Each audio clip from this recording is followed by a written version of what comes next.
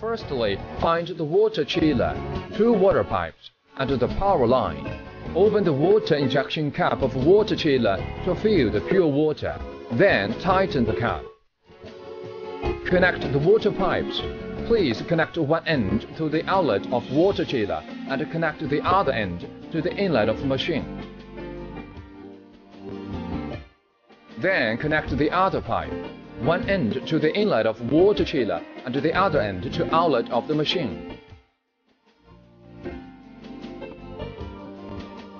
Find the water protection line and put the right end to the connector of water chiller.